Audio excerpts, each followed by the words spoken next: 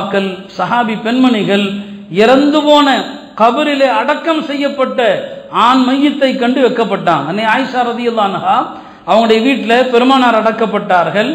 பிறகு செய்தன் அபூபக்கர் அடக்கப்பட்டாங்க. பெருமானார் கணவர் அபுபக்கர் தந்தை. இந்த ரெண்டு பேருடைய கபரு மாத்திரம் இருந்தபோது ஆயிஷா ரதியுல்லானஹா ரெண்டு பேருடைய கபரு தியாரத்துக்கு போவாங்க. சாதாரணமான ஆடையில தான் போவாங்க. ஆனால் எப்போ உமர் அங்கே அடக்கப்பட்டாங்களோ அதுக்கு பிறகு ஆயிஷா ரதியுல்லானஹா முழுசாக பரதாவில் தான் போவாங்க. இத்தனைக்கு உமர் முன்னால் இல்லை கவரில் இருக்கிறாங்க. சொன்னார்கள் முதலில் இருந்த இருவரும் எனக்கு என்னுடைய கணவர் என்னுடைய தந்தை உமர் எனக்கு அந்நியர். உமர் ரதியல்லானவர்கள் அடக்கப்பட்ட பிறகு முழுசா தன்னை போர்த்தி கொண்டு தியாரத்து செய்வார்கள் ஆயிஷா. கபரில் வைக்கப்பட்டவருக்கு வெக்கத்தை கடைபிடிக்கிறார்கள் அன்னை ஆயிஷா ரதி அல்லாஹான்ஹா இது குரான் நமக்கு சொல்லி காட்டுகின்ற ஹதீஸ் வரலாற்றிலே சொல்லி காட்டுகின்ற ஒரு நிகழ்வு இது. அன்னை ஃபாத்திமா ரதி அல்லாஹு அன்ஹா. அவங்களுடைய வெக்கம் ஃபாத்திமா ரதி அல்லான்ஹா எவ்வளோ பெரிய சாதாரண பெண்மணி அல்ல. பெருமனார் சல்லல்லா அலிஸ்லாம் அவர்கள் மரணிக்கிற நேரத்தில் அன்னை ஃபாத்திமா ரதி அல்லாஹா அவர்களுக்கு ரெண்டு சுப செய்தி சொன்னார்கள். இரண்டு சுப செய்தி ஹதரத் ஃபாத்திமா ரதி அல்லான்ஹா அவங்களுக்கு சொன்னாங்க. ஒரு சுப செய்தி என்ன? ஃபாத்திமாட்ட பெருமனார் சொன்னார்கள் இதுவரைக்கும் பூமிக்கு வராத மலக்கு என்னிடம் வந்தார். இதுவரைக்கும் வரல. வந்து என்னிடம் சொன்னார் உங்களுடைய மகள் ஃபாத்திமாவிடம் சொல்லுங்கள் அவர்கள்தான் செய்யத துனிசா அஹ்லில் ஜன்னா. சொர்க்கத்து பெண்களுக்கெல்லாம் தலைவி. சொர்க்கத்து பெண்களுக்கெல்லாம் தலைவி ஃபாத்திமா என்று சொல்லுங்கள்.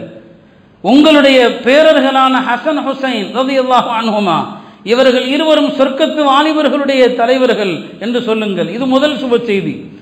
இரண்டாவது சுப செய்தி என்ன? என் எனக்கு பிறகு பெருமானாருக்கு பிறகு முதலிலே பெருமானாருடைய குடும்பத்தில் இறக்கப் போவது அன்னை ஃபாத்திமா தான் இந்த ரெண்டு சுப செய்தியை சொன்னாங்க. அப்படிப்பட்ட ஃபாத்திமா அவர்கள் ஒரு நாள் ஹசரத் அஸ்மா ரதி அல்லாஹு அன்ஹா அபுபக்கர்லானுடைய மனைவி அவங்களோட பேசிட்டு இருக்கிறாங்க. பேசிட்டு இருக்கும்போது அன்னை ஃபாத்திமாவுடைய முகம் ரொம்ப கவலையில் வாடி போய் இருக்குது எதையோ யோசிச்சுக்கிட்டே இருக்கிறாங்க. இப்போ அஸ்மா ரதி அல்லானஹா கேட்டாங்க அபுபக்கர்லானுடைய மனைவி கேட்டாங்க ஃபாத்திமா ரதி அல்லானஹா அவர்களே ஏன் ரொம்ப கவலையாக இருக்கிறீங்க? எதையோ ரொம்ப சிந்திச்சு இருக்கிறீங்களேன்னு சொல்லி. இப்போ ஃபாத்திமா சொன்னாங்களாம் எனக்கு ஒரு விஷயத்தை நினச்சி கவலையாக இருக்குது. என்ன விஷயம்? யோசிச்சு பாருங்க. அவங்களுடைய வெக்கத்தை வாழும் காலத்தில் இன்றைய நம்முடைய பெண்கள்கிட்ட வெக்கம் இல்லை அவங்க மூத்தாகிறத பற்றி கவலைப்பட்டாங்க. இப்போ நாம் இறந்து போனால் சந்தூக்கில் தூக்கிட்டு போகிறோம் இல்லையா?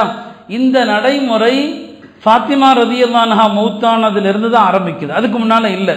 பெருமனார் காலத்தில் யாராவது மூத்தானா என்ன செய்வாங்க? ஆண் மையத்தோ பெண் மையத்தோ. கஃன் துணியை சுற்றி அந்த மையத்தை வந்து கையில் தூக்கிட்டு போய் அடக்கம் பண்ணிடுவாங்க சுந்தூக்கில் வைக்கிற பழக்கம் இல்லை. இதுதான் ஆண் மையத்துக்கும் அதுதான் பெண் மையத்துக்கும் அதுதான். ஃபாத்திமா ரதியுல்லானஹா அவர்கள் சொன்னாங்க அஸ்மா அவங்கள்ட்ட நான் யோசிச்சு பார்க்குறேன் எனக்கு ரொம்ப கவலையாக இருக்குது. நான் மூத்தாயிட்டேன்னு சொன்னால் ஒரு துணியில் சுற்றி என்னை தூக்கிட்டு போவாங்க. எப்படி ஒரு பெண்ணை எப்படி ஆண்கள் தூக்கிட்டு போகிறது அதை நினச்சி நான் கவலைப்படுறேன். அதை நினச்சி நான் வெக்கப்படுறேன். எனக்கு கவலையாக இருக்குதுன்னு சொல்லி. இறந்த பிறகு மையத்தான பிறகு தூக்கிட்டு போக போகிறது யாரு? அந்த காலத்தில் இருந்து சஹாபா பெருமக்கள். உலகத்திலேயே மிகச்சிறந்தவர்கள். உலகத்திலேயே மிகச்சிறந்த இறையச்சமுடையவர்கள். மிகச்சிறந்த அவுளியாக்கள். அவங்களாம் ஃபாத்திமாவை தப்பான எண்ணத்தில் பார்ப்பாங்க. பெருமானாருடைய மகள். அதுவும் இறந்த பிறகா பார்ப்பாங்க. சொல்கிறாங்க அந்நிய ஆண்கள் என்னை சுற்றி எப்படி தூக்கிட்டு போகிறது அதை நினச்சி நான் ரொம்ப வருத்தப்படுறேன்னு சொல்லி. இப்போ அஸ்மா சொன்னாங்க அப்படியானால் ஒன்று செய்யலாம். நாங்கள் நாங்கள் அபிசீனியாவில் இருந்த காலத்தில் முஸ்லீம்கள் அபிசீனியாவுக்கு ஹிஜரத் பண்ணி போயிருந்தாங்க. அபிசீனியாவில் இருந்த காலத்தில் அங்கே யாராவது இறந்துட்டா என்ன செய்கிறாங்கன்னு சொன்னால் தென்னை மரத்தினுடைய ஓலையில் ஒரு குடில் மாதிரி ஒரு தொட்டில் மாதிரி பல்லக்குன்னு சொல்கிறோமே அந்த மாதிரி செஞ்சு அதில் தான் மையத்தை உள்ளே வைக்கிறாங்க. உள்ளே வச்சு தான் தூக்கிட்டு போகிறாங்கன்னு சொல்லி. இப்போ ஃபாத்திமா சொன்னாங்க நான் வசியத்து செய்கிறேன் நான் இறந்து விட்டார் நான் மௌத்தாகி விட்டார். என்னையும் நீங்கள் கஃன் செய்த பிறகு அது மாதிரி ஒரு பல்லக்கு செய்து அதில் வச்சு தான் என்னை கொண்டு போய் அடக்கணும்னு சொன்னாங்க. யார்? ஃபாத்திமா ரதியுல்லானுடைய வசியத். அஸ்மாவுக்கு துவாவும் செஞ்சாங்க. நான் இறந்த பிறகு என்னை மறைப்பதற்கு நீங்கள் காரணமானது போல அல்லாஹ் உங்களை மறைத்து மன்னிப்பானாகன்னு சொன்னாங்க. அதே மாதிரி ஃபாத்திமா ரதியுல்லான் அவர்கள் வஃத்தாகிற நேரத்தில் அவங்க வசியத் பண்ணினாங்க. என்ன என்னுடைய உடலை யாரும் பார்க்கக்கூடாது. யாரும் பார்க்கக்கூடாது. இறந்த பிறகு என் கணம் ஒரு சில நபர்களை தவிர யாரும் பார்க்கக்கூடாதுன்ட்டாங்க. அதே மாதிரி என் உடலை சுற்றி என்னை வந்து ஒரு பல்லக்கில் வச்சு தான் கொண்டு போகணும்னு சொல்லிட்டாங்க. முதல்ல இஸ்லாத்தில் இன்னைக்கு நாம் தூக்கிட்டு போகிற மாதிரியான சுந்தூக்கில் வைத்து இந்த ஜனாதா பெட்டின்னு சொல்கிறோமே அதில் வச்சுட்டு தூக்கிட்டு போனது ஃபாத்திமா அவங்கள தான் தூக்கிட்டு போனாங்க. அதுக்கப்புறம் பெருமானாருடைய மனைவி ஜெயினப் வஃபாத்தானாங்க அவங்களையும் அந்த மாதிரி தூக்கிட்டு போனாங்க. அதுக்கு பிறகு பார்த்தாங்க முஸ்லீம்கள் இது நல்ல நடைமுறையாக இருக்குது.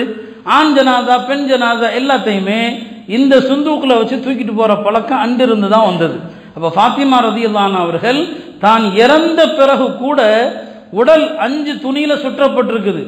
அந்த அஞ்சு துணியில சுற்றப்பட்ட உடலை கூட அந்நிய ஆண்கள் தொடக்கூடாதுன்னு நினைச்சான் எவ்வளவு பெரிய வெக்கமும் பேணுதலும்.